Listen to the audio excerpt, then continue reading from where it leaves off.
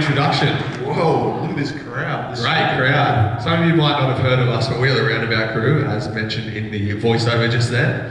Uh, and hello and welcome to everyone to the first ever VidCon Australia Creator Keynote. It's the Roundabout. All right. So my name's Elliot. I'm Tom. And I'm Kenny. And we're the Roundabout Crew. We're an Australian sketch comedy group. Uh, we weren't based in Canberra, but then we realised how crap it is, and we moved to Sydney. Very cold. If there's anyone here, you can relate. You won't get offended. Um, so VidCon put on the Creator Keynote specifically for people who are looking to create online video. Whether you're just starting or an experienced content creator, we hope that you can find information, insights, and inspiration in the stories presented to you. Dude, so, you that. That thanks, bro. Yeah, that was. Yeah, you read that down. That was the first time I've read it too. So let's get things underway because no one wants to see us through the stage. So, first on our list, uh, she is the producer of the Snapchatter of the Year Woman in Tech Shorty Award. She's a storyteller strategist specialising in micro video content. Did someone write tongue twisters on here deliberately or? It's a stitch up. Absolute stitch up. Please welcome String You In!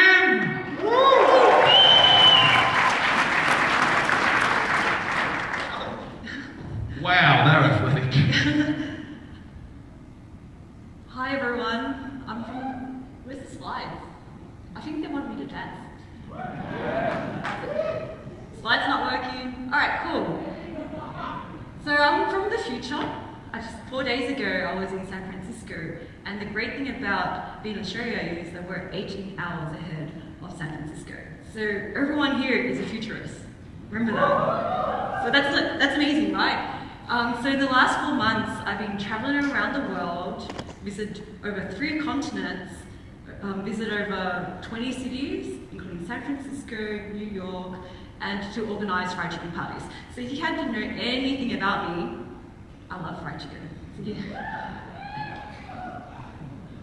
And I started uh, about three, two, three years ago. My journey about video started on Meerkat. And Meerkat died in six months. But within that six months, I was able to gain 44,000 followers, um, gained like a community of people around me. And one of the reasons why I went to San Francisco is to meet that community itself. Like I was able, like you know, live in the most expensive city on top of you know CBD area of a one million dollar house because of Meerkat. So even if platform dies, just remember you could have the skill sets or everything that you learn on Meerkat or on dying platforms or any video platforms, you could like transfer it over to the next platform. Which brings to this. So in the last two, three years, I've gone and experimented on all these platforms. And I won, uh, like last year, uh, beginning of this year, I went to the Shorty, uh, the Shorty Awards and won the best Snapchat channel called Women in Tech. And now I'm going to talk about the latest video platform. Uh, LinkedIn is the new Facebook for business people. And they just released videos like about three weeks ago, and I happened to have early, super early access. And you know, just be like this grandma, don't be dry as fuck. And within three weeks, I was able to grow from 900 followers to 2,700 people. So remember, like there are 500 million business people on LinkedIn, and within like three weeks, I was able to gain like 280,000 views of traffic, organic traffic. My first video that I went on, um, that I upload, uploaded natively on LinkedIn gained 100,000 views. And I was able to like have consultations and everything like that. So creating content on video, like especially because you guys have an unfair advantage, you know how to create awesome content. So you should jump on LinkedIn and start building up your own channels on there. So I'm giving you like three months, four months ahead of like being part of the game. So if you open up and download LinkedIn app and see a video camera, you you pretty much could start creating videos right now and pretty much have like um, you create your own channels. So I'm going to give you some tips on how to like slay on LinkedIn and able to like monetize your content straight away because as content creators, you deserve to have every money that comes your way. So the first tip, create traffic with relevant content. Provide insights and trends, personal development stories. Share and document your creative process. So what I've done is I'm planning to be the first YouTube live channel on LinkedIn because no one's creating videos on a daily basis. And if you people like you know duplicate what you did on YouTube, I'm pr- pretty much sure that you guys will have a lot of success as well. Two, uh, be there daily, create daily content, be super engaged, connect with your tribe. The thing about videos is, is like you pull the people that you want to connect with. Three, think and grow like a business. You, you have to survive. You have to have a, um, you know, you have to have respect for your skills as a videographer, as a YouTuber, as a storyteller. And remember, cash flow is king because you need to eat and survive as well. And you know, doing things for free is okay at the beginning, but don't do that forever. And, you know, and use LinkedIn as an opportunity to connect with other business mentors as well. And here's a little like, um, if you want the fourth tip, I will love it if you go onto LinkedIn and connect with me and message me directly, drop a fried chicken, and I'll give you the fourth tip. I'm serious. I'll give you a fourth tip. So if you do that and give me a fried chicken emoji, I pretty much like, uh, will give you the, And tomorrow I'm going to have a workshop too to create bite-sized content. If you're interested, I'd love it if you join me. Uh, and that's about it, everyone. So I'll see you on LinkedIn.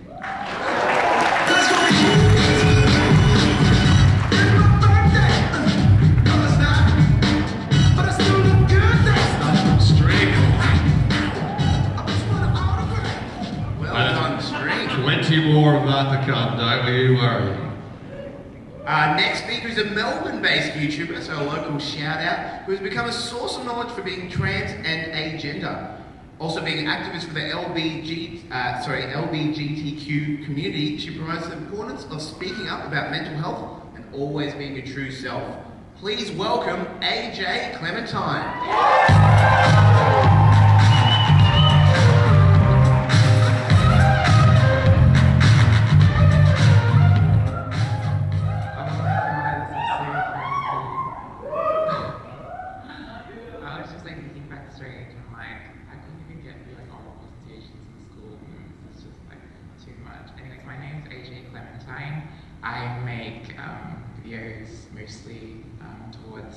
LGBTQ plus community. I like to think it's like a safe place where um, people can feel like there's other people out there, like not just with the stories I share from myself, but just like in in general. Um, YouTube is like one of those things that I felt like I needed to give back because it was it was, it was something that was there for me in the time that um like not the best time. So I felt like doing YouTube videos was like I could um, do the exact same thing that people that I look up who are here as speech educators as well that I watched in high school and I felt yeah to um, give back to the community is something that is very important. Um, it's, it's one of those things that like you feel that you're not alone, like the internet world, you can like um, reach people and you can feel like there's other people just like you and um, you can get so um, clouded by like the, the noise and like the um, people in your everyday life that um, you can't really relate to, but then you can open up your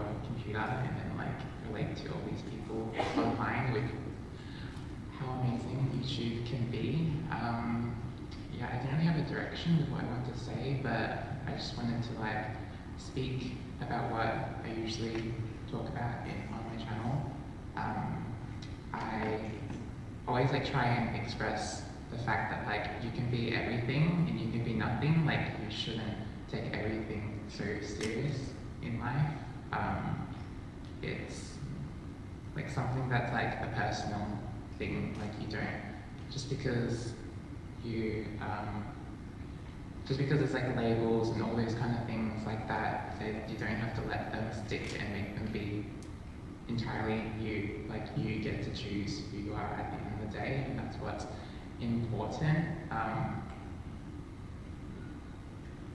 like you're not you're not truly living if you're not being your authentic self, and that's something that's really important on the internet world. Is that if you're not making content or um, truly expressing the best version of yourself, it's it comes across as like fake, and people see that. And um, I feel like that's like one of the, the top things if you want to create content, it's just to stick to who you are and um, yeah, do what you truly like to do because otherwise there's no point to creating if you're not actually enjoying it. And so I feel like with YouTube and everything online, it gives such a big outlet for creative people to do anything that they want to do.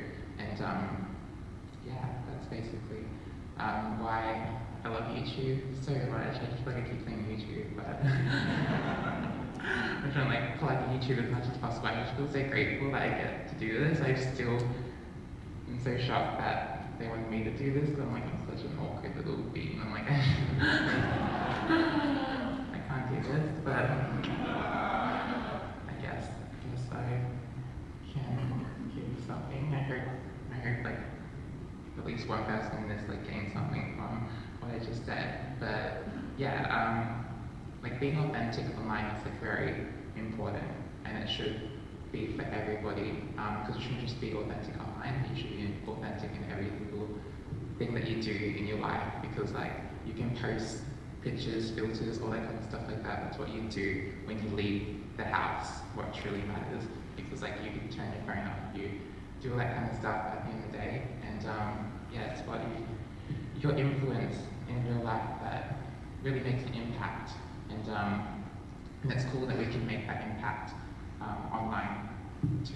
Because it get the best of both worlds to be able to impact people online and um, try to do it in real life as well, which is, which is cool. So yeah, I hope you guys enjoy the rest of VidCon. I've got two panels tomorrow. I've got one about being like out online with some really cool people on that panel, and I've got one about mental health, which is going to be a good little chat as well. So yeah, enjoy your VidCon, and hopefully I like meet some of you if you want to chat.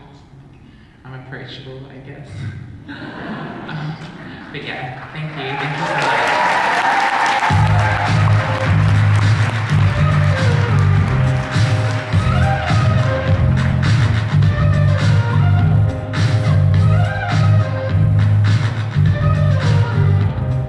All right. Our next guest needs no introduction, but I'm going to give one anyway. Ah, Oh, classic. He's half of the Vlog Brothers channel, and he's also executive producer for a number of educational channels. So, and he's also the co-founder of this very event. Wow, so many talents. Who is it, Tom? Don't leave them hanging. I might. So you've got to welcome him because he is responsible for this event. So Hank Green, everybody.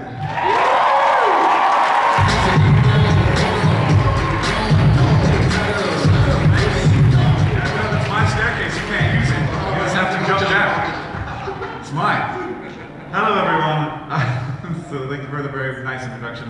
Uh, I'm really ha- so happy to be here. It's wonderful. This first day has been so great already, and uh, and even the first two days before the event started, I've had a really great time in the city, and uh, talked to a lot of creators, had a lot of really interesting thoughts, and uh, really got my mind juices going, which is all I really want in life.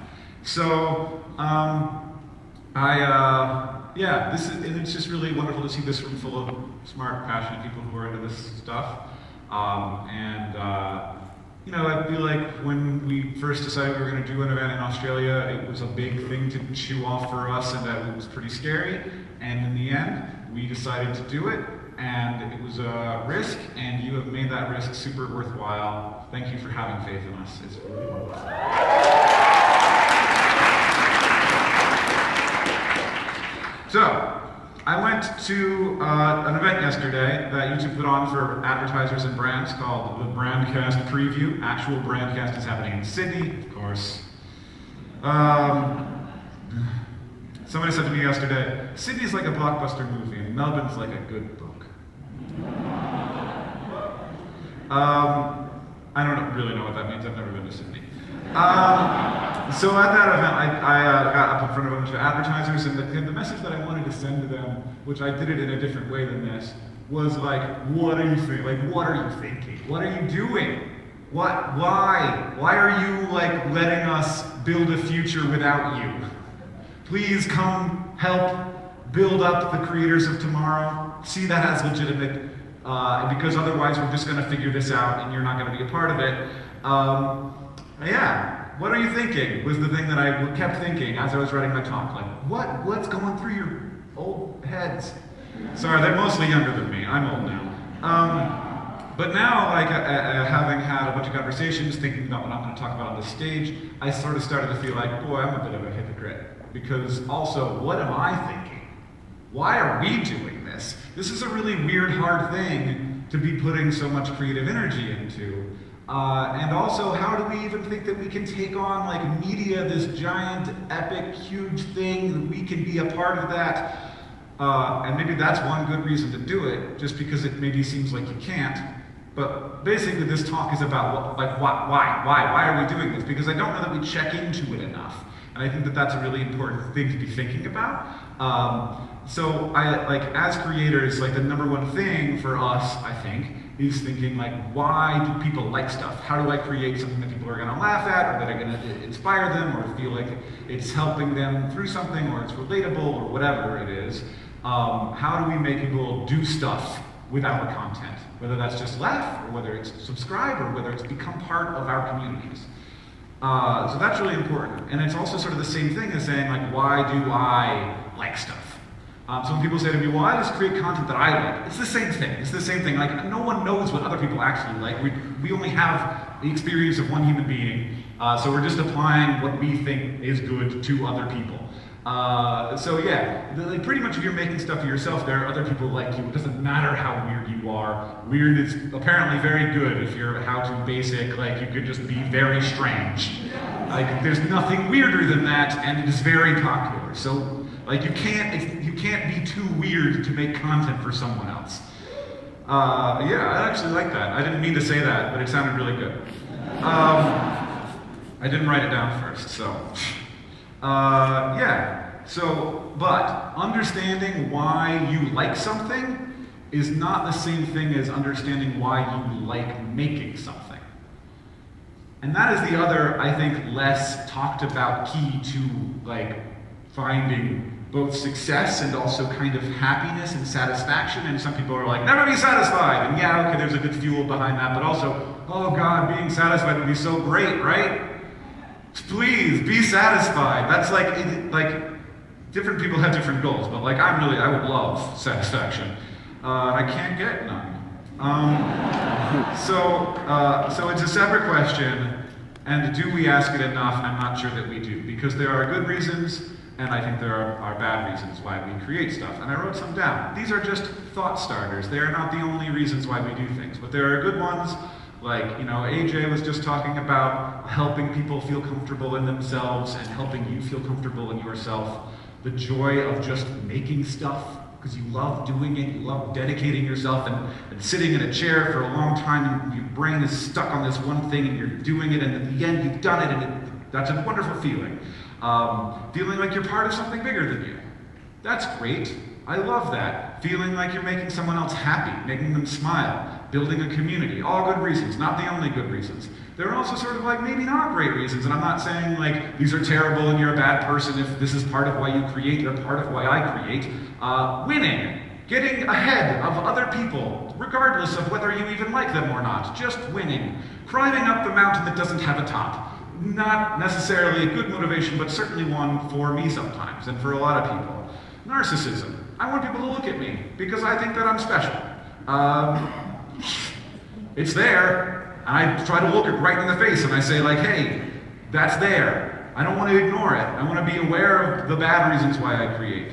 Um, because your self worth is tied to the number of Instagram likes you get. Like, that's a bad reason to make stuff, but it's a reason that a lot of people make stuff. You don't know if you don't check. You don't know why you're making things unless until you check in.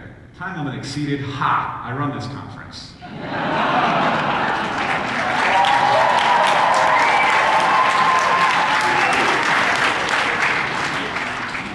I've only got like four pages left, it's fine. Um, So, uh, and, and I will say, like, after, after 11 years of doing this, first I'll say, if you're motivated by bad things, sometimes you do bad things. Uh, I, am not like, bad motivations can be good to get you someplace. Any fuel will get you somewhere, and that's okay.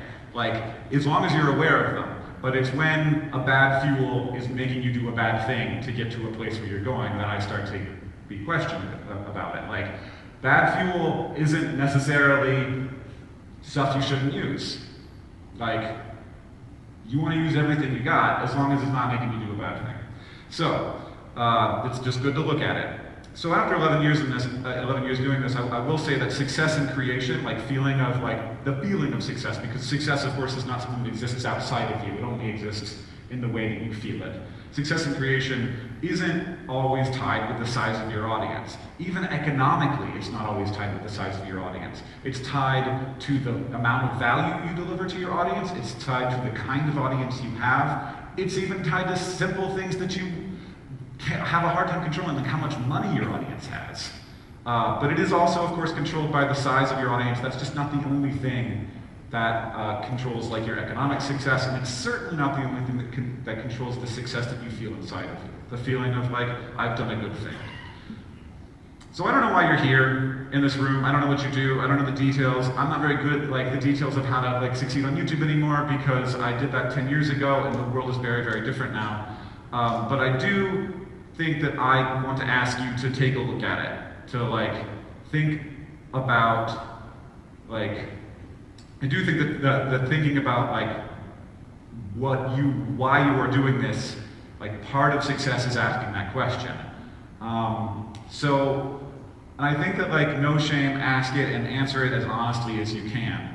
Um, is it to make an impression? Is it to make money? Is it influence? Is it attention? Is it changing the world? Is it joy? Like all of these things, don't be don't turn away from them. Don't be afraid of them. And if you don't like what you find, like what you find, be okay with changing up what you're doing and how you're doing it. And if that feels like like I don't want to do that, it feels like I've been working for so long to do this thing and I've dedicated so much of my life to it. And if, if that was all wrong, then I wasted all that time. No, you didn't. Two reasons. One, anytime you're creating, you are succeeding in a way. You are making stuff, and that is wonderful in itself. You're growing as a person, you're making stuff for people.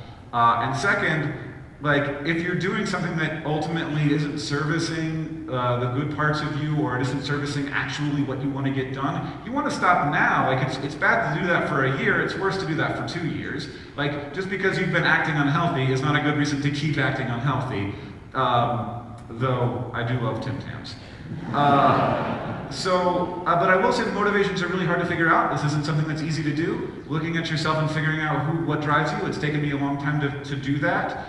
Um, but I will say I, I, I, try to do it regularly. Like it's a good thing to do like on the first of the month. Be like, why am I doing all the things I'm doing? Let's just check for half an hour. Just think about that. Maybe have conversations with that with people that you love.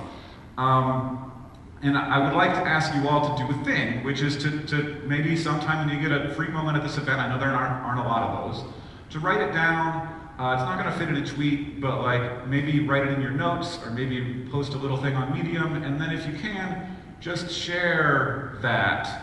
Uh, and if you don't want to like it to influence like your social stream, it doesn't fit with whatever your regular social stream is, create a little throwaway Twitter account to post but I think that it's a really good idea to, to let people know what you're thinking about and what's motivating you. Like, think about it, write it down, take a screenshot of your notes, post it on Twitter, use a hashtag like VidCon Australia, VidCon US, and then another hashtag like why I make stuff. Hashtag why I make stuff.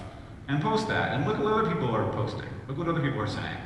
Uh, look at what, and think about what you're saying. And maybe find some other people who might have similar motivations to you and talk to you talk to them, connect with them, because I'm going to say this, even though I probably shouldn't, because I think all year about how to provide value with this conference, but I know for a fact that the most valuable thing in this room is you. And connecting with other creators is the actual, like, part of the main value that is created by these events like this. So, like, VidCon's value is you. Um, so don't let that go by. Because I know that I could not have done this if I didn't have my brother to talk to all the time about like crises, economic crises, existential crises, creative crises. It's so wonderful to have a guy, a smart and passionate guy like my brother to talk to about that stuff.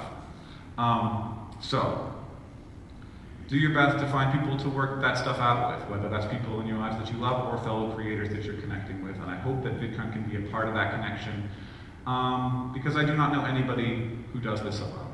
Thank you very much.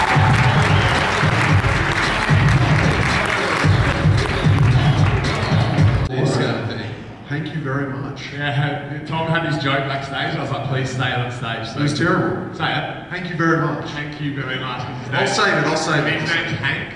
That's the okay. been Um, guys, I was just thinking, listening to Hank just then, how much more engaging is an American accent? Absolutely. Like that was like He was a very smart guy. He's like at one stage of the spectrum and we're at the other. Yeah, It's a bad yeah. Well, like I mean, this to the it's like, is that guy from like rural Australia? No one probably understands what I mean. No, everyone has no idea what's happening. Okay, good.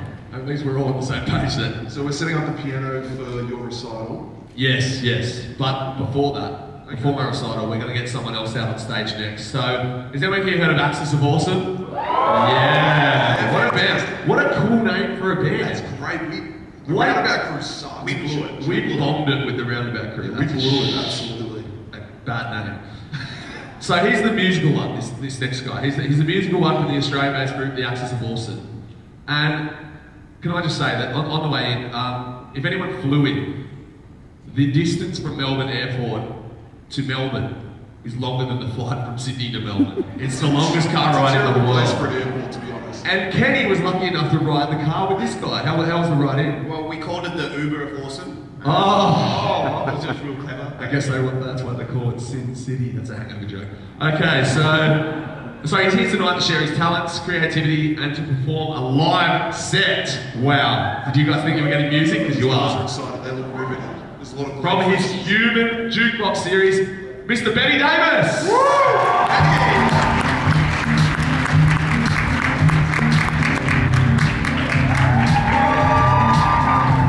That's far away. Hello, everybody. Um, thanks so much for coming out. Thanks for having me here. Um, I'm here to do something a little different. I suppose everybody, if you know me, you know me from the Axis of Awesome.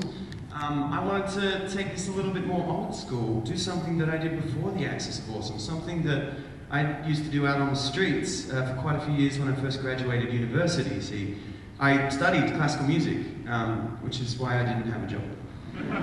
So, um, uh, yeah, I would uh, go out to street corners, and I'm about to do something for you that I used to do out there for quite a few years. Uh, so, without further ado, would anybody like to buy some ecstasy? Usually offers yep, some claps, see me afterwards. No, no, I don't. No, I don't. Um, I don't sell ecstasy. I, I know where to get it. You need a number, just I don't. Uh, no, I'm actually, uh, I've been working on some solo stuff lately, and uh, I was going to perform something uh, from my solo album that's going to be coming out soon. Um, something a little bit more sincere than what you're used to, so I hope you enjoy this. This is a song about, um, there's this cafe I go to every day in Sydney, and um, I always see this girl there, and I, I feel like everybody, guys and girls, we always feel these things that we really want to say, and there's things that hold us back from saying it, and I think it's important to just find a way to say it.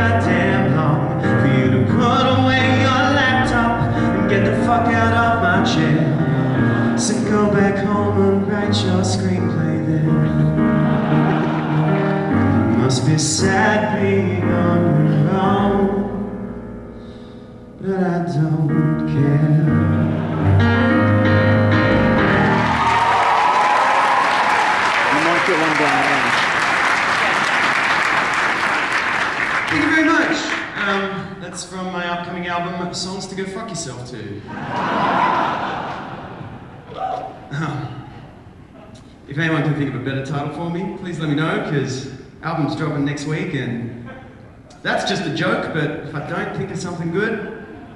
Gonna call my album that. See how that affects sales.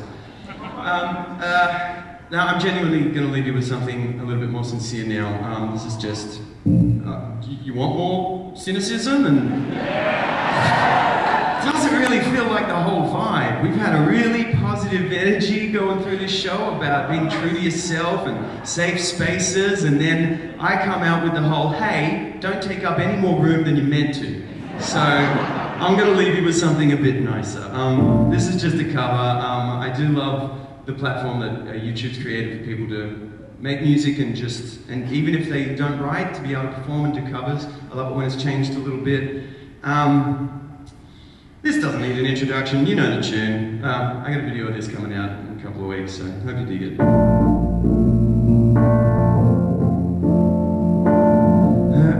Her eyes make the stars look like they're not shining. Her hair, her hair falls perfect.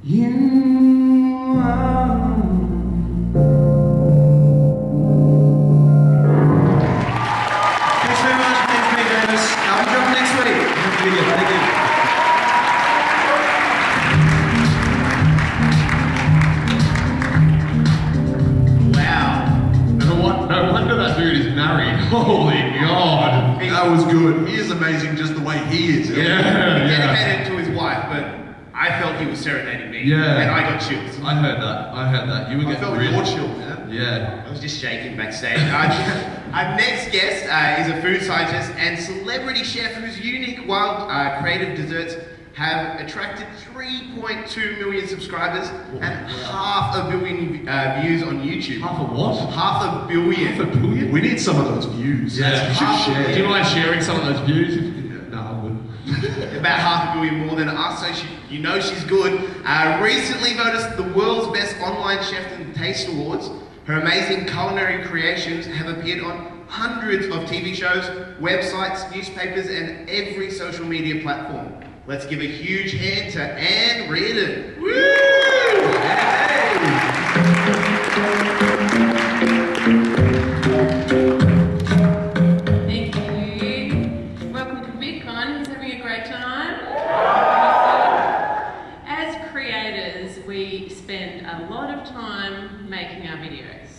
coming up with ideas, and then going and buying everything you need to make that idea a reality, whether that be cameras or, in my case, ingredients, and then actually filming it all and then editing it all. I know my videos take a long time to make because if you're making a 3D cake, you've got to bake it and let it cool to start, and then you've got to actually got to make it look good and change. I film myself, so I've got to move the camera and focus it and change the lighting every time I'm doing something as well, obviously, as many of you would film yourselves. Um, so we have this tendency as creators to overwork. So I do once a week, but I've met many creators who have easier videos to produce. So instead of doing once a week, they do twice a week or three times a week, or as one guy I met just last week, twice a day. I have no idea how he maintains that upload schedule, but that is huge. For those of you who have never heard of me and never heard of my channel, because most of my audience is in the US, which I think would be pretty the same as most of yours, here's a quick snippet of what my channel is about.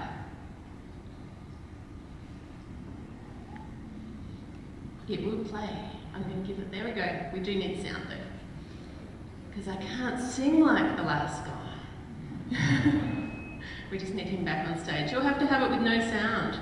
So we have giant Ferrero Rochers, 3D cakes, chocolate, that's seven kilos of chocolate as pop out, Instagram cakes, all sorts of cool stuff. Giant Magnum ice cream, that was fun to invite people over to eat, chocolate tools and chocolate desserts, all of that sort of thing. So that was supposed to have music, but anyway. So that's what I do, but I know that all of you work hard creating your content. And then you upload it, and then you press that magical button that says public.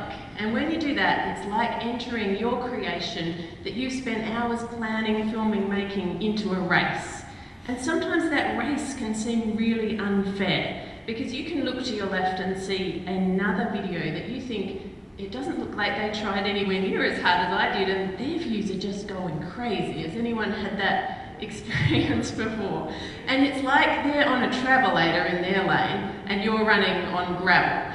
And then, likewise, you can see another video, you go, that's an awesome video. Why does this video not have more views? And it's like they're on a treadmill. It doesn't matter how fast they run, they're not getting views. But we're all in this race trying to get more views.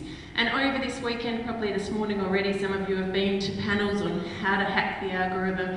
I'm pretty sure if you knew how to hack it, you wouldn't be talking, you'd just have a million views yourself on every video. But anyway, still go to them. You're going to be going to sessions saying how to get your videos into the travelator lane.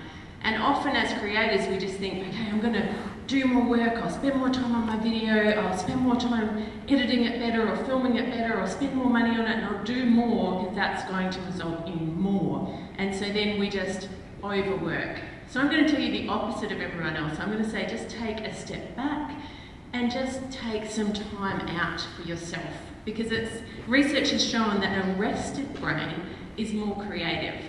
And if you can come up with more creative ideas, then when people find your content, they're more likely to love it.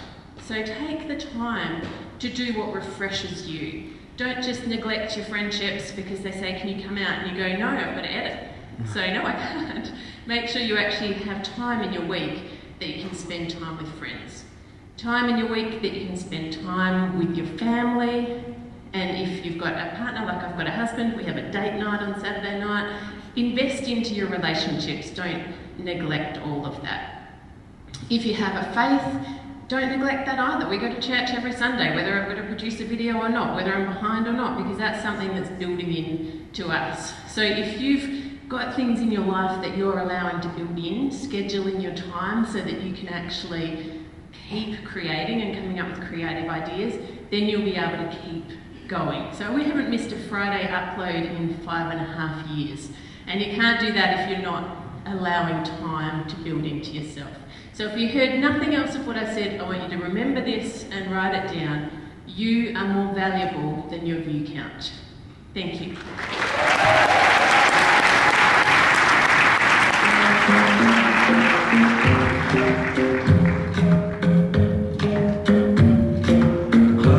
That was good. Can I just say, that video did not need music because that food looked amazing. That made me hungry. I I was was hungry. I was kind of hoping she was going to do one of those things they do on the Today Show where they bring up a thing and start cooking. and Yeah. Get some of that stroganoff. This is just for the MCs. Yeah, yeah. Oh well. Oh well. It's still good. Yeah, it was good. See you later. Our next performer is awesome. He does dance tutorials, does some. Uh, what else does he do? Dance He's a good friend. videos, He's a good friend of choreograph- as well. Yeah. Choreograph some dances. Does he? Yeah, like we do that. Sometimes. We do. Do that dance you choreographed. Okay. Um, Wow, give it he'll dance. He'll dance. Yeah, Very let's short. All right, let's go.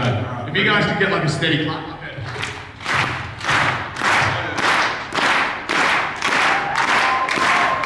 That was terrible. I'm sorry. We're the, it white- to the pros. we're the whitest people. So Jaden Rodriguez, Even me. even Kenny, especially Kenny to be honest.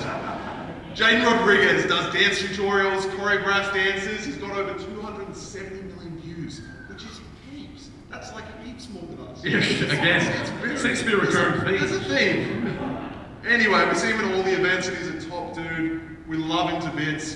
Jaden Rodriguez. You!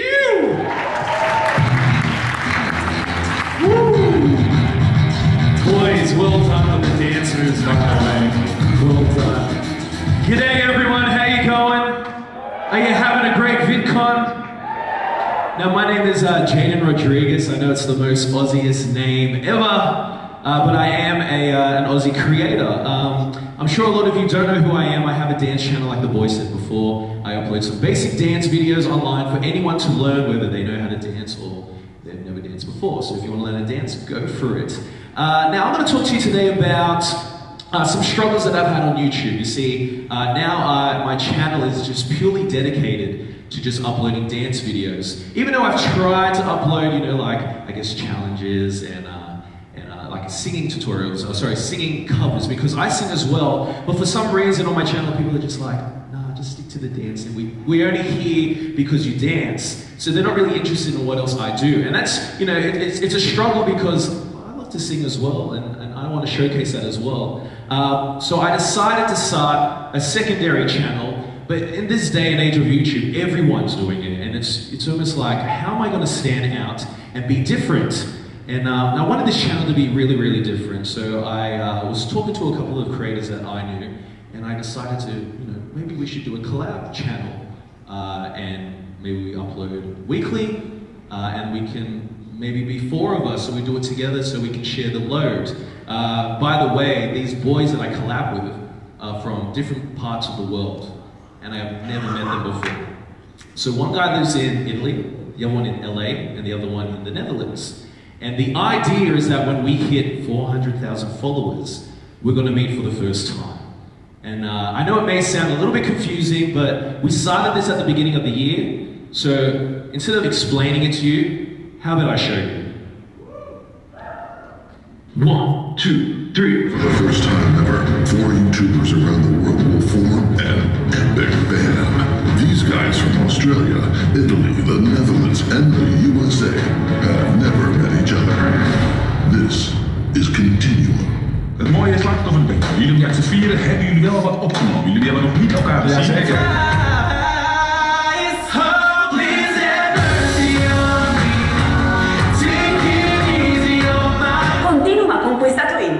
Online boy band na Continuum.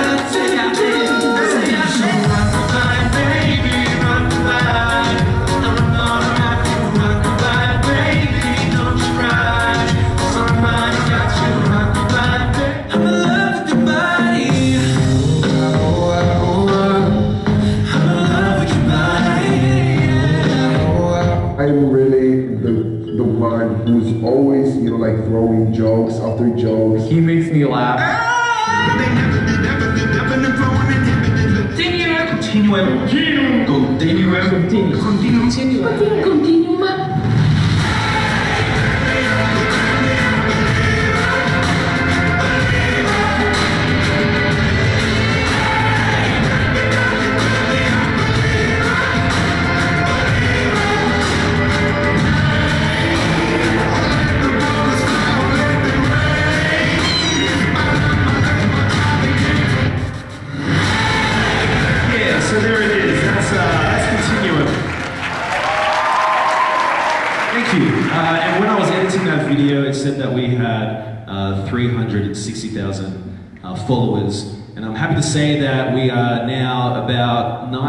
19,000 off meeting for the first time. And we were hoping that we could meet today at VidCon and make it like this big thing, but we just fell a little bit short, but that's all right. So uh, probably in November, we're hoping that we get to meet each other for the first time.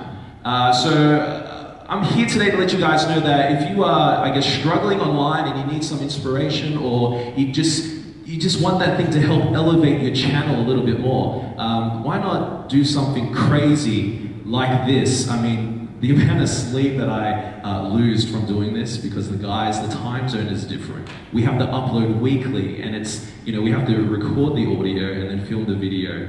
Uh, and but it's it's fun when you share it with people who are thinking the same as you. And um, and of course, like I tried to upload covers onto my dance channel, singing covers, and everyone was like, nah, nah, nah. But now that it's on this boy band channel, those people are like, oh, we didn't know you could sing. Oh, this is great, you know. So I guess what I'm trying to say is, is that even though people can be a little bit negative, um, that shouldn't stop you. You should still go ahead. If you love it, go ahead and do it. I just put a little twist on it. Like it's the same thing that I was doing before. It's just there's a gimmick involved with it. So, uh, guys, I hope you learned something today. I hope you uh, achieve big things. Just a big show of hands who's actually a creator, a YouTuber in here. Guys, I, I wish you nothing but the most best and success in the world. Uh, you guys have a voice, and it's good to see that you're using it. And uh, cheap plug, help us meet each other and hit that subscribe button. Guys, enjoy the rest of your video. Thank you so much.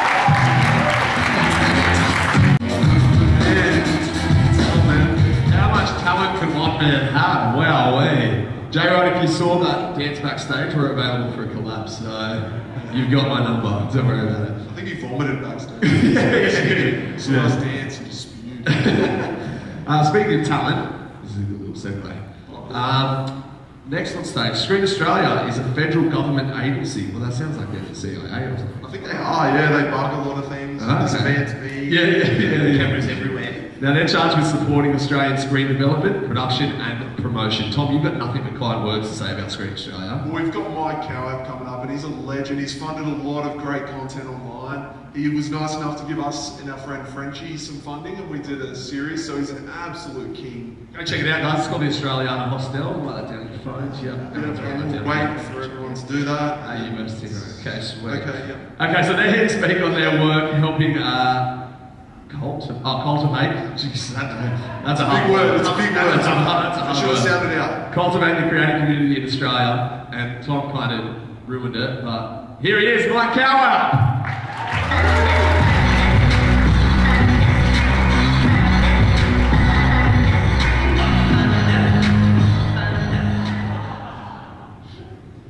Nobody told me I could have brought my piano.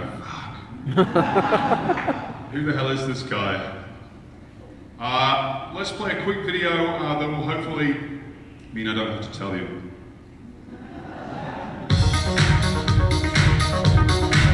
So what do we think is funny? A fart? Does anyone think a fart isn't funny?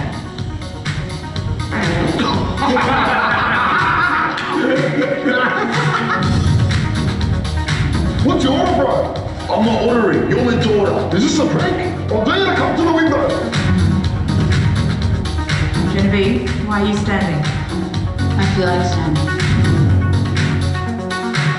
What about you, Cobra? You, uh, like to wrap the old laughing gear around a couple of frothies? What? They keep their beers cold by putting them in an esky.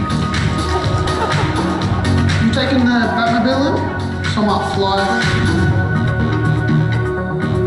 Hey, that's a big deal. That's a really big deal. That is bigger than what I thought it would be. The rear vision mirror, and there is not one there. This is not MasterChef. You don't burst into tears and move on to the next episode. The world is waiting for us to fail.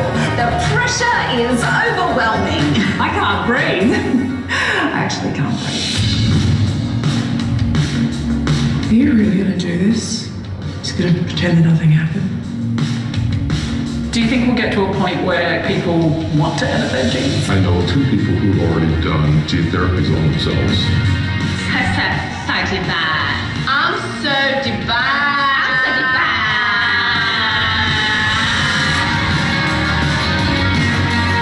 This little filly's got a busy mouth, hasn't she, Colonel? Yes. Ah, good. That's very good distance. Okay. Let's go. Has your vagina ever come to life and talk to you?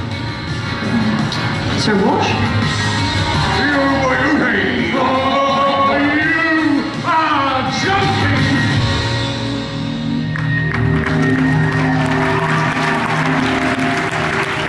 didn't make any of them, I just uh, paid the invoices, usually on time. A few familiar shows in there?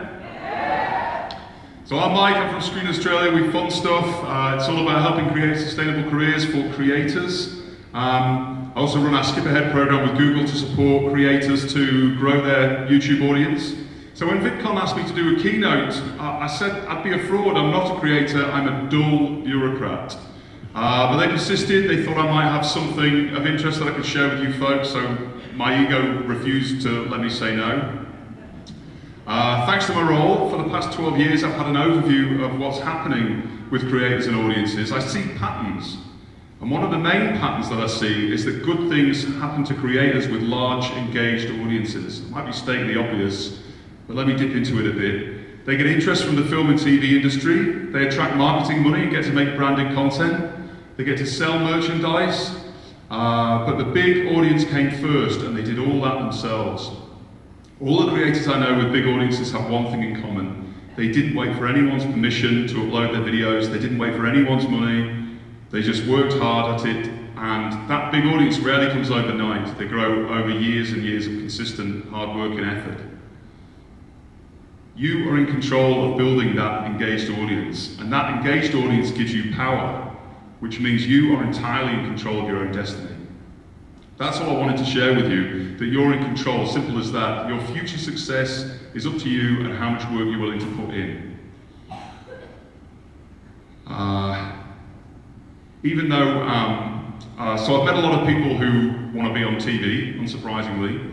Um, it's really hard. It's really hard to get a meeting with a serious TV exec. It's hard to prepare a really compelling pitch for them. Uh, it's an art in itself, just creating a series Bible. And then there's never just one executive to get through. You might impress one, but they might have to pitch it to their colleagues.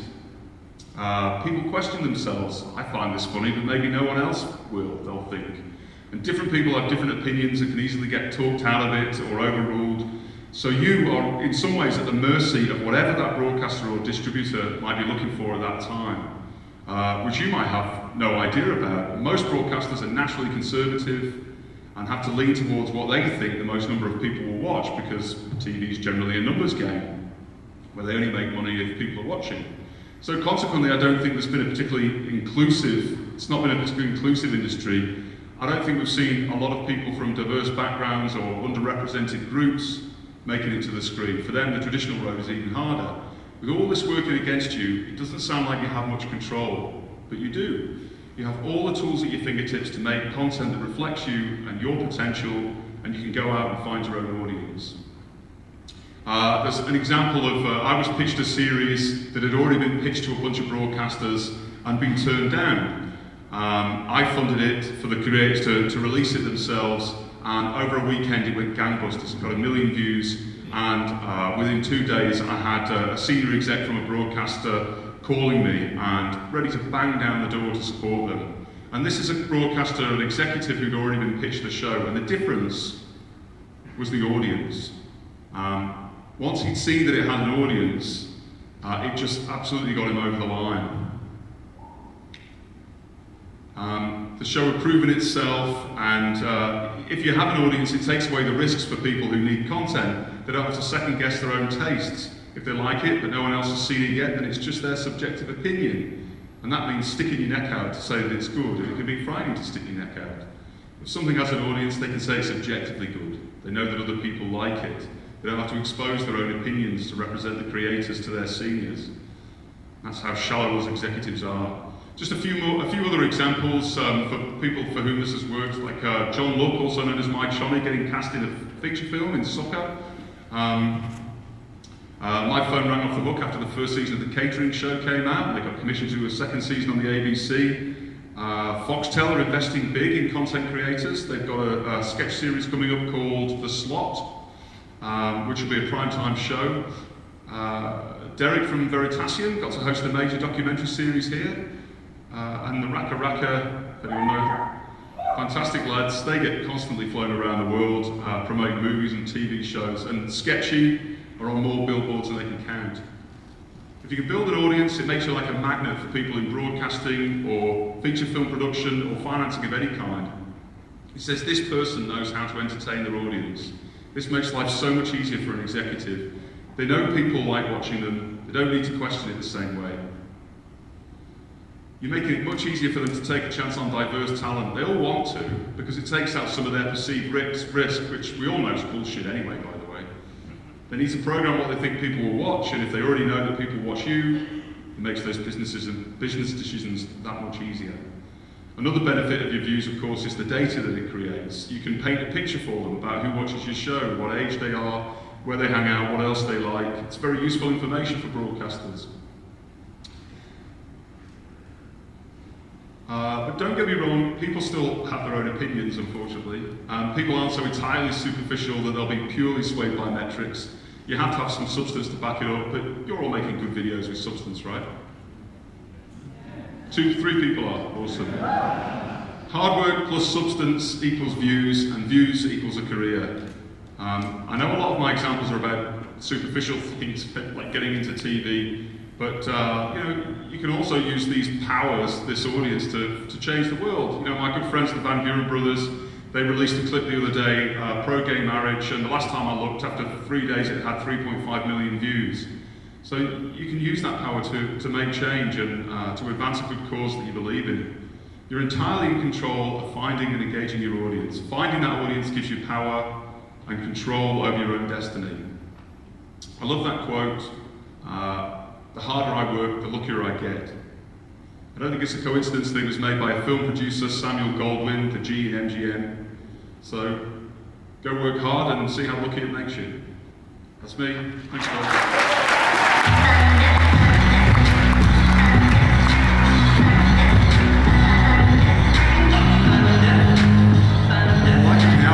Absolute legend. That guy's responsible for a lot of awesome content that you've seen. Well, you, yeah, you saw like Aunty Donna, SketchShe. I heard a few woos for RackaRacka. Can I get some woos for RackaRacka? Ah, the RackaRacka boys. Yeah, there's a, there's a big fan. I like that. They're insane. They are. They're, they're crazy. But like, like you're saying, it's so good to see Australian content getting pushed out. And it's all thanks to Screen Australia. Yeah, it's great that he's backing a lot of creators and giving us some money, which we don't get much of. Yeah, exactly. No money. We had to play a game of heads or tails today. I don't know if any of you saw it out in the, in the main section there. Oh, yeah, you- you were there? People. Nice. Uh, We we didn't bought even it. have a point to play it with. That's our pool winner. So all good though. Struggling, struggling. We had to play it with the, you know how the people put their hands on their heads, with heads and tails. Anyway, can you want to introduce the next act? Yeah, uh, our next guest is brilliantly Watch out. I'm in the way. Uh, our next guest is brilliantly vibrant, endlessly entertaining. She is without doubt one of YouTube Australia's most talented up and coming singer slash songwriters. Double threat. Wow, double threat. threat. You know what say. Uh, her colourful personality shines through in performances of her original songwriting and some of the world's most popular songs that have been stamped with her own creative soul and transformed to be truly her own. She was getting pretty loose at the party last She night. was. I reckon she's going to have a bit of a hangover. I hope she's still got a voice. Introducing and please welcome Demi Lou Chevelle. Never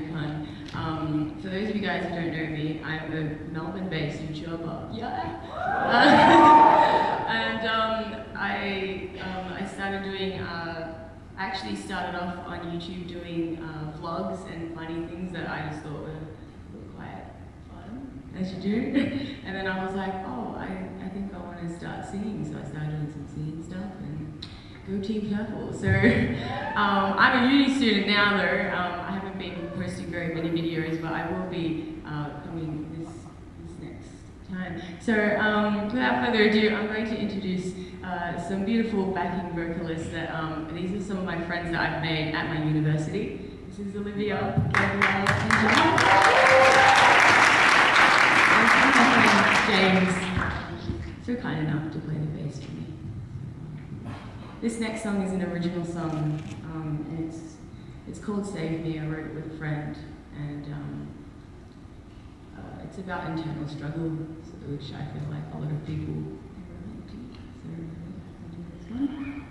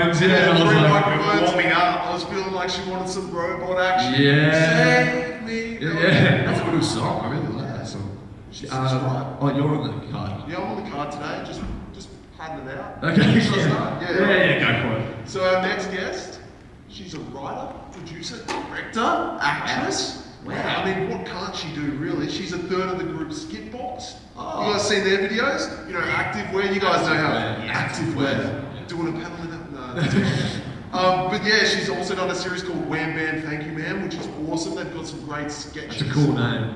It is, isn't it? That's like just above Axis of Awesome with cool names. Just above. Just above. Oh, well, that's ben, good. well, Benny's left, so he can't be offended. So That's good. I like that. I like that. Anyway, Sarah Bishop, everybody. Sarah Bishop. Thank you. Hi, how's everyone going? Um, so I'm really introduction because um, when I was thinking about coming up here, I was really, really nervous that you guys would look me up online because we've kind of had a few hits for activewear and our show kind of did well and we've got really good numbers on Facebook, but our Instagram numbers are like so bad. And I feel like if you guys looked me up on Instagram, you'd be like, why is this girl speaking at VidCon when she has less followers than my grandma? Um, but anyway, no, so I am in a group called SkitBox. It's a comedy group. We're an all female comedy group. And what I wanted to talk to you guys about tonight was this idea of not getting stuck in labeling yourself and labeling what you do and putting yourself into a box. So, one of the reasons that I started was I kind of started out as an actor, and that's all I wanted to do. I just wanted to be an actress, I wanted to be taken really seriously as an actress. I had no interest in doing anything else. Um, but I kind of fell into comedy, and I met Adele and Greta, who are my partners in SkitBox, and we kind of realised that there weren't many roles around for actresses in comedy. And if there were, they were kind of boring. It would be like the girlfriend or like the girl that tells the guys off for having so much fun. Um, and we kind of got really bored of that, and so we decided to form a comedy group and we decided to start writing and making our own content. And so that was kind of my first experience of moving outside of the label of just actress. Because uh, not only was I writing and producing and creating my own content, I was also moving outside of that label in terms of like the roles that I was playing. They weren't the traditional roles that women would play on screen. And so we started out doing YouTube videos and then we moved into making some sketches for the ABC, for television. Around the same time, we started directing as well. So I was now writing, producing, acting, directing on YouTube, for TV. We started doing live shows, and then eventually we got our television series, um, which is called Wham Bam Thank You Ma'am. It was a six episode series that aired here on ABC, on ABC iView, um, and it was also screened in, in America on a network over there.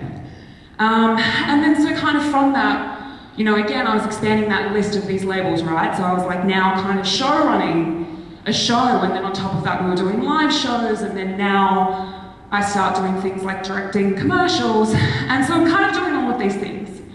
And it's amazing, and I love it. I have like a dream job, I love what I do so much. But it's caused this kind of very specific social anxiety around social situations. And whenever this happens, it strikes a particular fear in my heart.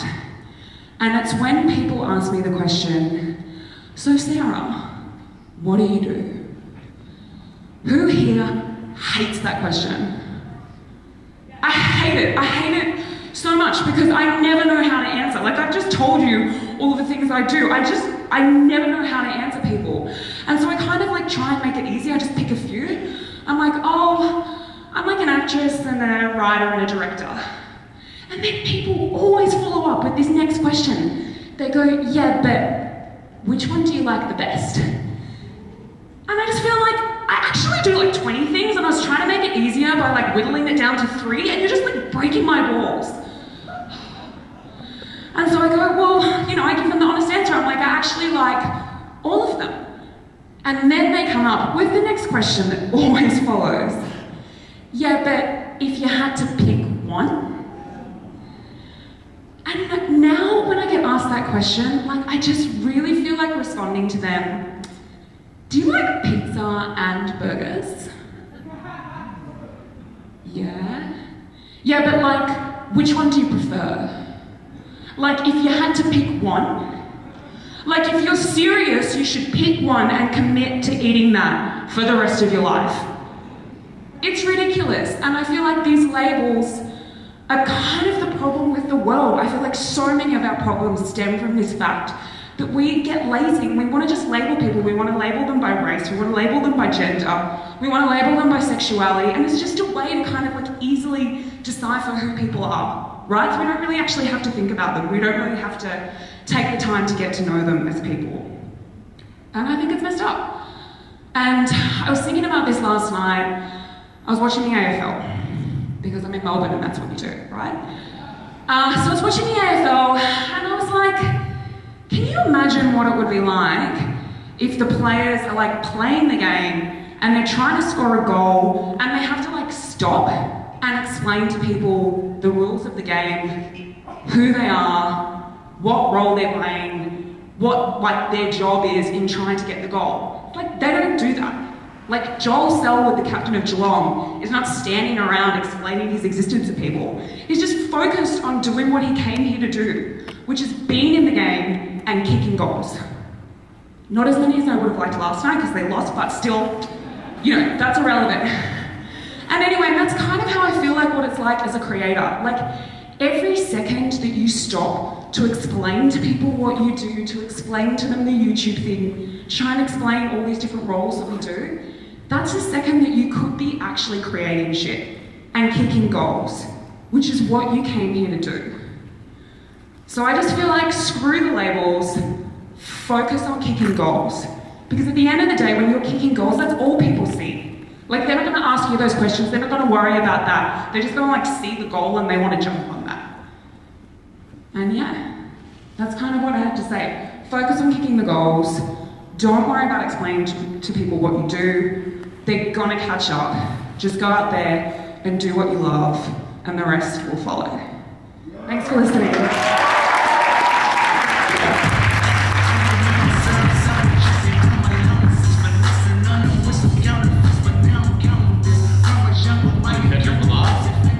Lamar. Well known to Kendrick Lamar. That's pretty cool. That's cool. She's an excellent public speaker. She was really good. She was engaging. She did things with her hands up, just being like stiff and kind of freaking out. Like, the what do I- time. what do I do We my did hands? robot for a bit. Yeah, we did. Man, we No, she was an excellent, excellent speaker. Now, our next guest, uh, who has, she has the same name as our last guest. What are the odds? That's weird. They should have spaced that out. Yeah, That's that's, good. that's about. So she's a Melbourne-based singer slash songwriter. Again, how much talent is on YouTube? So much talent. Why didn't we get any?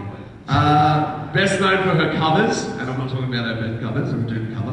In particularly, the cup song of Royals. Anyone familiar with Lorde That was Royals? That's a that's a good video. You guys should watch that. That's a great. Does anyone want to hear Kenny sing Royals? No. He's the most tone deaf man in the world. That, that video amassed over 12 million views. So she is now working on original music, and she was recently featured as an artist on The Voice. I know. She met Seal and shit. You seen Yes. Seal? He's a cool dude. He's a cool man. He's a cool cat. Please welcome Sarah Stone. Sarah. Go Sarah.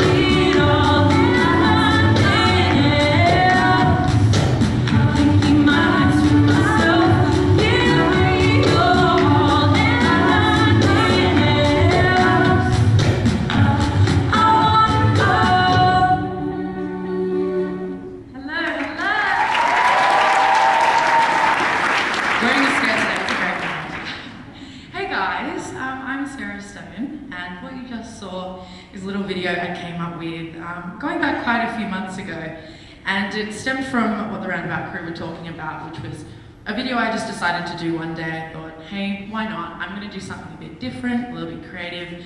So I grabbed a cup out of the pantry, and then came the Royals Cup song. And I was quite taken back by, I guess, how that was received. I, I just thought it was going to be another cover, and I underestimated creativity and idea. And um, yeah, it just absolutely took off, and I realized that's what people really loved on YouTube. They loved this kind of creative outlet of taking something that inspires you, making it your own, and just finding a unique way to connect with people. So doing this, this was probably by far one of the most complex videos I did. Um, but yeah, I loved it and I loved that response. And so that's what I want to talk about today. I think it's so important now on YouTube because it is becoming an extremely clustered space. There's so much content, especially a lot of, I would say, a lot of people doing very similar stuff and it's important to be unique and to find a niche that people really enjoy and connect with them on that level.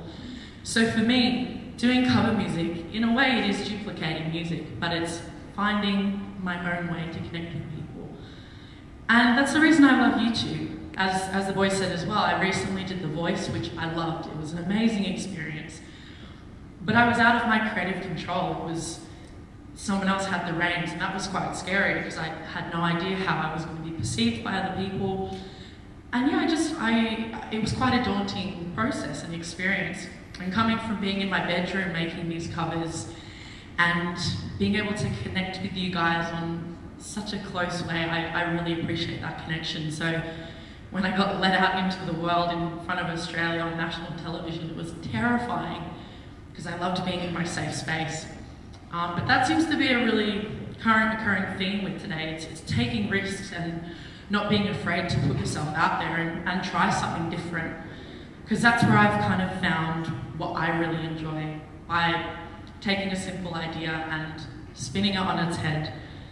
So yeah, from that whole experience, I definitely walked away um, just feeling really inspired to be different. And um, yeah, that's like me, I guess, on my path of creating original content and starting to write songs. And YouTube's been an amazing platform to allow me to connect with people with original music as well. So I'm in the process of getting my original music out. So hopefully some of you guys might listen to it one day, which is kind of exciting. Um, but yeah, it's, it's just amazing, I guess, to see how music and YouTube have connected. Because I used to just be a fan. I used to make YouTube videos, sorry, watch YouTubers. And then all of a sudden I decided, you know what, I'm gonna take the risk and I'm, I'm gonna make a YouTube video. And I think once you take that leap of faith and you start creating content, I think at first as well, um, I just wanted to make content, I guess, to impress other people and, and to make other people happy. But when I started to make content for myself and started to make myself happy, that's when I just fell in love with making YouTube content. So yeah, I would definitely say that the things that have inspired me to be a YouTuber is, is seeing the support from the community and being a Melbourne-based YouTuber, like many people that have spoken today. I'm very proud to see how many of you guys have turned out to support the YouTube community. Because um, yeah, we, we are growing and it's, it's so impressive and I love that. Um, yeah, and I think if I could leave you guys with any advice, I would definitely just say find something that really passion, that you're passionate about and really drives you and fuels you, and find a way to make it your own. Because as I said, it's a very congested platform these days. If you're trying to do what everyone else is doing, it's not going to work. So find a way to make it completely your own. People will fall in love with you and your content. Thank you guys so much. I'm Sarah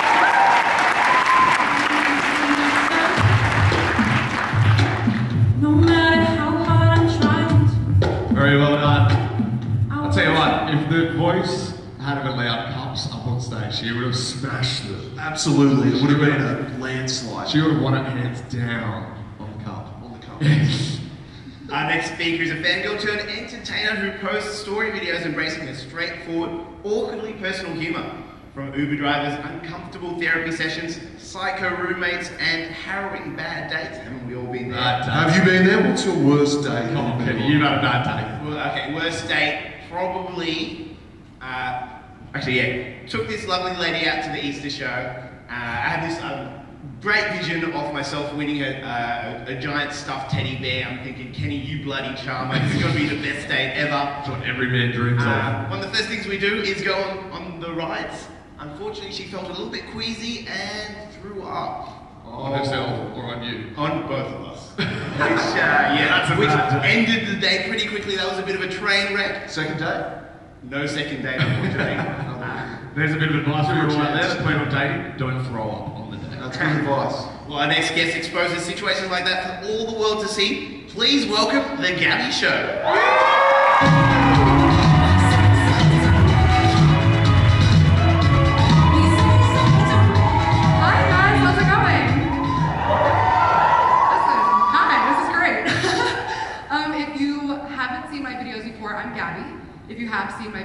I'm sorry.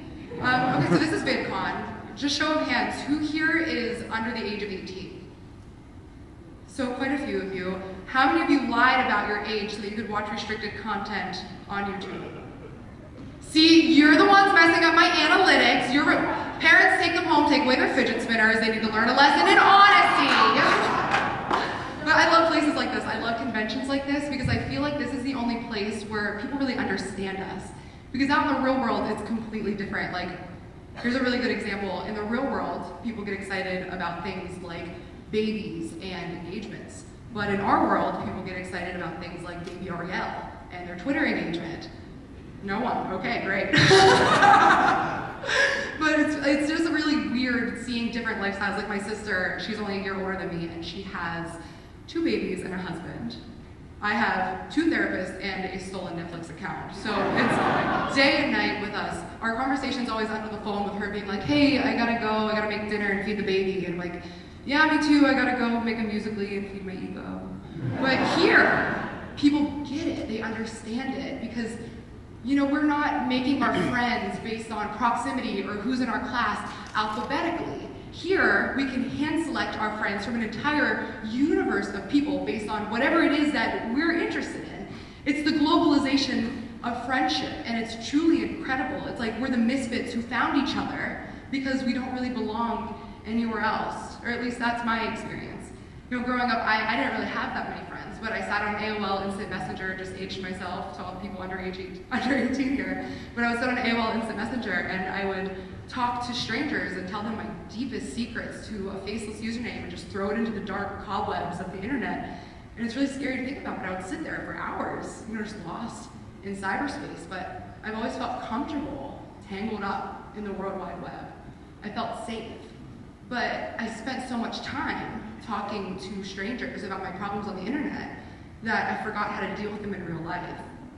And I became so content with my internet connection that I stopped working on my interpersonal connections. I became so comfortable with X and O that I shied away from hugs and kisses. And it became really lonely, and I started becoming forever alone in a crowded room. And I had friends, and it just always felt like I was on the outside looking in, kind of like they were the earth, and I was a satellite, just kind of looking down at them, that makes sense. Not down, that's not awful. They're better than you, trust me. But it became really lonely, and because of this, I spent a lot of time sobbing silently into pillows when I should have been talking to people. And I started drowning in depression, and most of my adult life, I was suffering silently and crippled by anxiety because I didn't know how to talk about it anymore. And it's a sad life because you can feel so connected to so many people, yet still feel so long. And I talked a lot about this with my therapist, and he asked me, Did you ever tell your friends about this? Have you ever explained your feelings? I was like, God, of course not. And he said, Well, why not? That's what friends are for. What, did you ever explain to them your feelings of darkness and loneliness? And I said, No, God, no. And he asked me why, and I said, Because they couldn't understand. How could they? They're all so happy. They all live these beautiful Midwestern lives. They could never get it. And I was alienating, alienating myself by living this digital world and separating myself, myself from them. So recently, I found myself, and it wasn't that long ago, in one of the darkest places that I've been in a very long time. It was this very strange conundrum of feeling like my chest was so full that I was going to explode, and somehow feeling completely empty at the same time. But if anybody ever asked me, Are you okay? I would say, Yes, of course, I'm okay. So on the 4th of July, which was very recently actually, I forced myself to go out. And I told myself, Gabby, you have an incredible life, because truly I do. You have an incredible life. Go out, spend time with your friends, get a tan, have a couple drinks, and it's going to be amazing, and you're going to have a great time. And I did, and it worked for a couple hours. But then as the sun went down, the darkness grew. And I started feeling that time bomb in my chest start ticking again. And my instinct has always been to hide. I've always wanted to run. I've always hid from my emotions. I've always run to the bathroom and cried instead of letting anybody see it. And that was my instinct. But I just didn't want to anymore. I was just so tired. And hide and seek is only fun if somebody's looking. So on the 4th of July, I'm looking around and I'm feeling these really heavy emotions, and my instinct is to run. And for some reason, I just didn't want to. I didn't have the energy, I didn't have the strength. And I looked around at my friends, and everybody was so happy and absorbed in their own moment and enjoying it so much that I just decided to sit down and just feel the pain and just let everybody do their own thing. And I sat up against the wall, and all my friends are watching the fireworks, and nobody noticed. And I sat there for what could have been five minutes or what could have been an hour until one girl noticed. And this girl, I don't really have a relationship with her. She actually used to bash me on the internet and to my friends before she met me in person. When we met, it was cordial, but we didn't really have anything in common, and she wasn't anybody that I would ever see myself opening up to. And she saw that I was feeling upset, and she came over to me and she kneeled in front of me, and I was like, God, here we go. She's gonna ask me if I'm okay, and I don't want to talk about it. But she didn't. She said, I can't imagine the pressure you're under, and I have no idea what's hurting you, but it's going to be okay. And then she put her arm around me, and I just surprised myself because I allowed myself to sob into this girl who not only did I expect to never even have small talk with, but I'm ripped open and bleeding out in front of her, and she's just silently holding me, not asking questions, and comforting me, and until I caught my breath, and then I'd be pulled back, and I looked around, and still nobody noticed. And I learned a lot that night, and I've changed a lot since that night. And the first thing I learned was that it's okay to feel. And it's okay to feel bad things, and it's okay to hurt. It's okay to be sad. And the second thing I learned is it's okay to let people know. You don't have to put on a front. It's okay to tell people "Yeah, you're not okay. Take a step outside of your digital you and just be vulnerable. And it is so scary, horrifying to be that vulnerable, but when you do it, it is so empowering. There is nothing more empowering than just owning your emotions. Hide and seek isn't fun if nobody's looking, but sometimes you have to ask somebody to play with you. Since that day, I've started opening up about things that I never thought I would open up with, and with people I never thought could ever understand that I would talk to, and I was dumbfounded by who and how many people shared my exact experience, my exact upbringing, my pain, my emotions, my fears, my insecurities. These people who I never expected to understand walked a marathon in my shoes, and I didn't know because I didn't ask. But the next time somebody asked me, Are you okay? I said no, but I will be. And I hope you can answer the same. Thank you guys.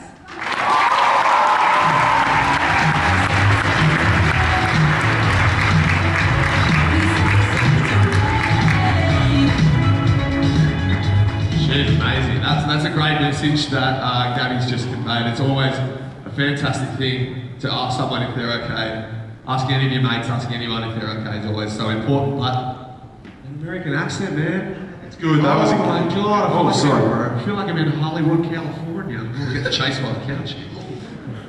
Chase cow. Played this before. Yeah, that, that accent's uh, that, that was really, really engaging stuff. And uh, she did very So we apologise if we're a little bit rattled today. Go to these events and they go, come down, have a few drinks, enjoy yourself, and we have all the drinks.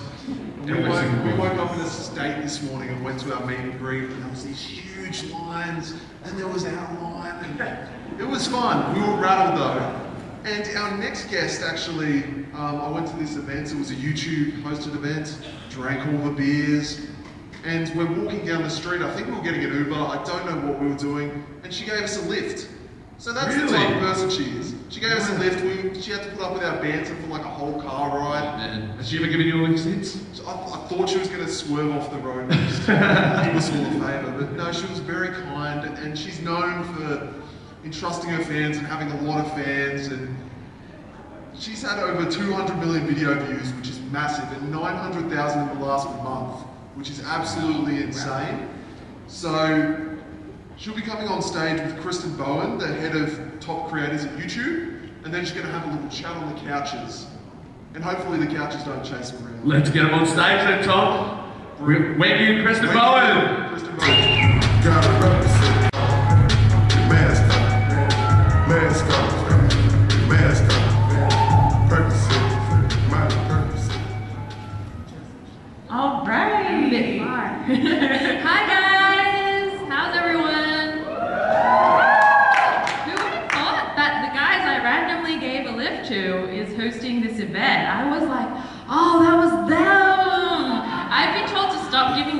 Random guys, like by my friends. They're like, you, you gotta stop doing it. I don't think it's safe. And a- actually, that's not the first time I did it. I think that's s- yeah, I, I did it recently as well. It's, it's very bad habit. No, that's not safe. Yeah. Whoops. So it's a huge honor for me to be sitting here with one of our most successful YouTube creators in Australia.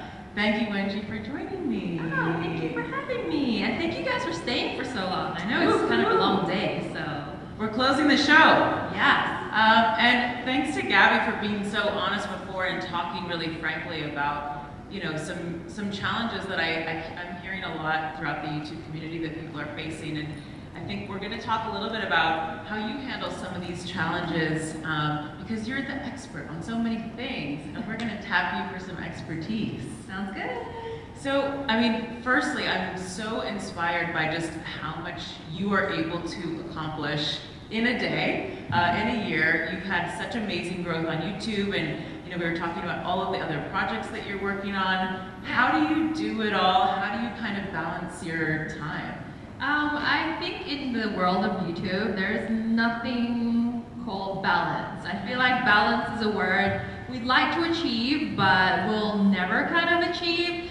Um, every YouTuber I talk to, including myself, we live, breathe, and live, um, and like live, breathe YouTube. That's all we think about all day, every day. Um, if I take a break, I feel kind of like weird. It's kind of like an addiction almost, like to YouTube. But I think that's why it's really important, and you hear this time and time again, that you gotta love it because I don't think reaching a balance sometimes is, you know, the answer to YouTube. Sometimes it's about enjoying the fact that you get to work like so much on something you're passionate about. And for me, it's definitely priorities. I know there's a million and one things you need to do when you run a YouTube channel, and there's always something more to do. And I think we could be working all day, every day, but it's just like priority. For me, I make it very simple for myself. As long as I get the video out on time every week, my job is done. Everything else can fall to the wayside, including sometimes sleep. Um, but as long as my video is out, like that's what I've committed to when I joined this platform, and that's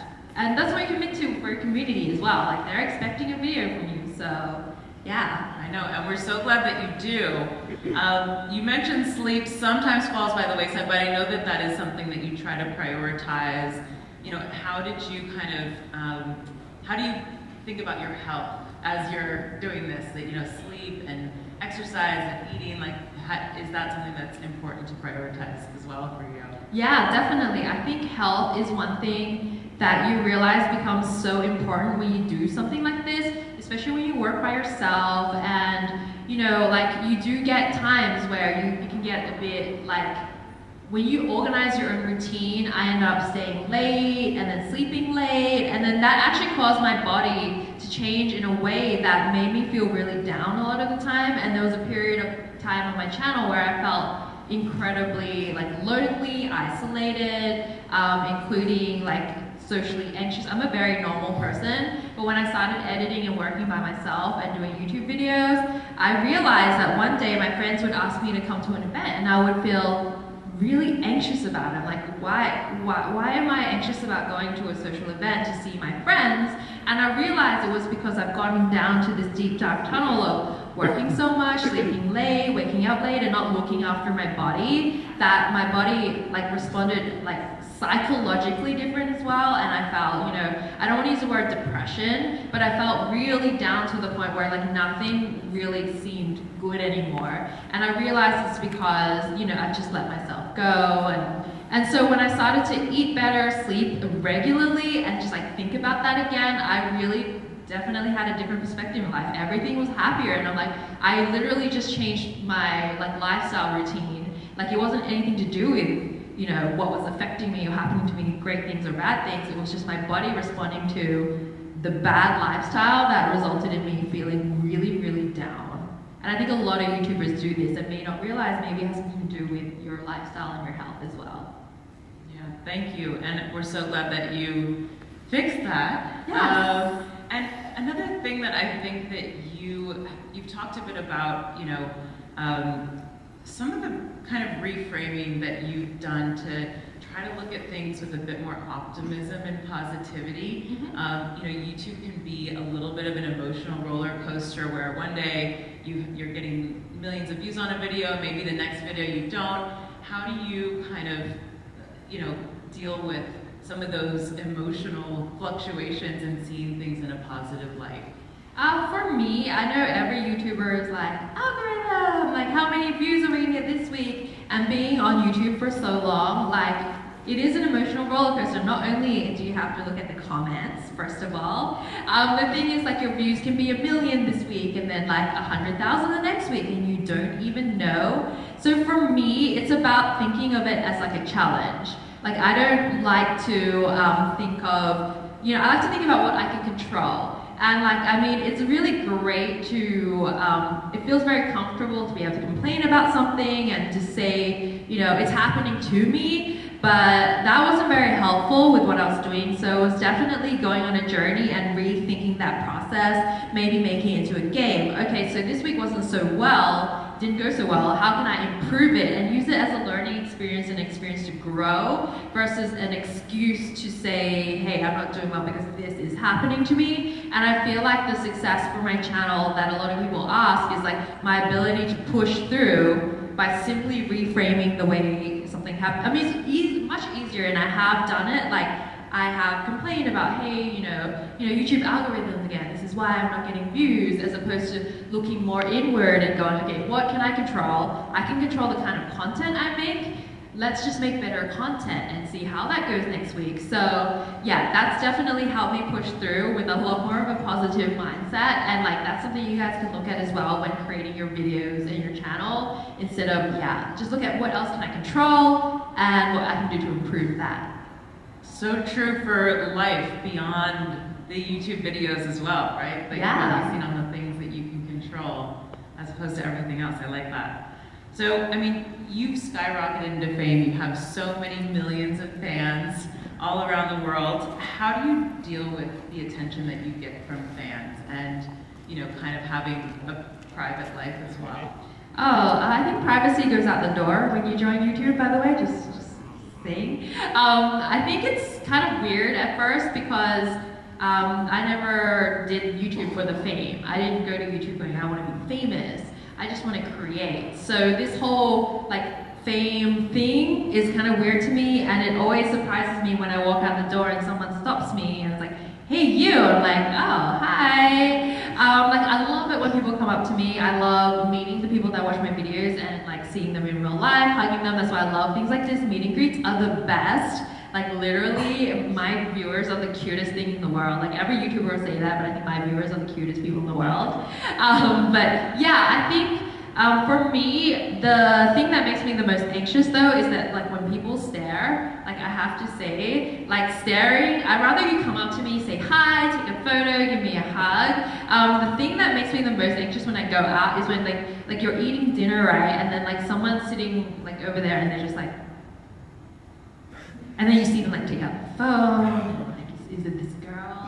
Like they stare. That makes me really uneasy, um, and you do get like a bit used to it after a while. And I think for me, I just like to think about it this way, like. I've been given a responsibility, um, considering I've got so many people looking up to me, and like, think about it this way, you can just go say hi, give a hug, and like, that would make someone's day, you know, and it's so easy, so it's like, why not do it? So yeah, I, I kind of, I really like it, like, yeah. That's so sweet. Okay, lesson for VidCon. You see someone that you admire and you wanted to meet, go up and introduce yourself. Don't stare awkwardly from across the room. Yeah, yeah, don't, Okay. don't do the open stare. Good tip. Um, you've been doing this for years now, and you know, I, I, I'm amazed by just how you keep coming up with new stuff and, you know, how many life hacks can you come up with? You come up with so many ideas. Like, how do you stay creatively fresh and sort of balance what you want to make from a creative perspective versus what the audience is is demanding? Like, is is there a tension there, or do those align? Um, for me, I've always loved making content people love to watch. Um, and I think there's always a very healthy way to combine the two things. A lot of people always think it's like one or the other. You either make content for yourself or you either make content for other people. But I think it's um, not black or white. It's great. You can make both. Find, you know, a trend and spin it in a way that you like to make it. And for me, I always say I watch so much YouTube. Like literally, if I'm not making videos, I'm watching people's videos, and that really helps me creativity creatively because there's so much there's so much talent on YouTube. Everyone always has a great spin on something. So I think I consume YouTube content maybe at least like three to four hours a day, and I feel like that really helps keep me creatively fresh because you know when you hear like like a like a director you want to watch more movies you know so if you're a youtuber it just makes sense to watch more youtube and just to see everyone else's perspective and see you know learn things from them like you could learn from a channel that has 200 subscribers. I think that's like that's an awesome thing because they might have like a fresh perspective as opposed to like always looking for people that have like big numbers. Like you can learn from anyone. And i think that's that's like how i stay creative I love that. And I'd love to talk about self-esteem for a second because think that you're someone who is very sure of who they are and has like such a nice, good presence about them. Is, is self-esteem, having positive self-esteem something that ha- you've had to work on or does that kind of just come naturally to you? Do you have any tips for how, if anyone's struggling with that? Yeah, I think the first tip I have um, for everyone is just to own your weirdness. I think that took me a little, yay!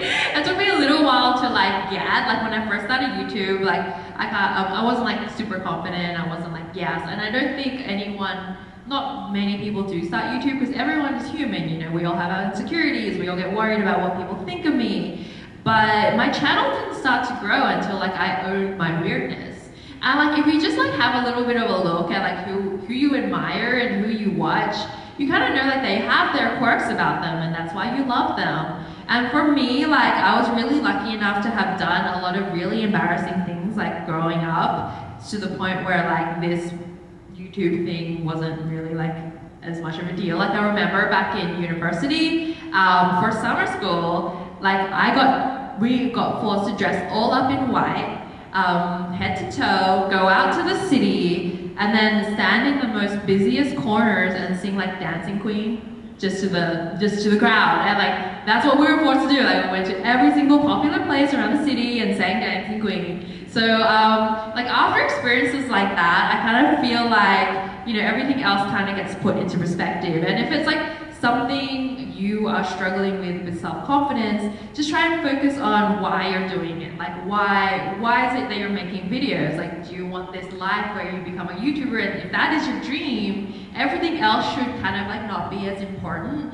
And you really just gotta focus, like put things in priority, perspective, and just make sure you're just remembering why you do it. And that's why I think everyone says like start with why. Like figure out your why, stick it up on a wall, write it down, and every time it feels hard, it's challenging, just look back on that reason and be like, yeah, I remember. Like let's let's forget about everything else. This is this is why I'm doing it. Yes, I love that. Okay, I mean, anything else that you want to tell the, the group here tonight? Any kind of projects that you want to mention to people? Oh, I have one, but I kind of feel like I can't say this right Ooh, now. Top secret. Okay. Mm, there You're gonna have to stay tuned. Yeah, so on September the 13th, I'm going to make an announcement. It is literally the coolest project I have done. So I can't talk about that right now, but let's just say um, I'm voicing a really cool character in a cartoon. Yeah, so that's a project I've been working on. It's really exciting, actually. So exciting, and we don't have to wait too long. No, Just- co- next Wednesday. Wednesday, yeah, yeah, Wednesday. I think, yeah. So Perfect. voiceover. Yeah, I got some weird voices, you know. Thank you, everybody. Please help me thank Wengie for being here. Thank you guys.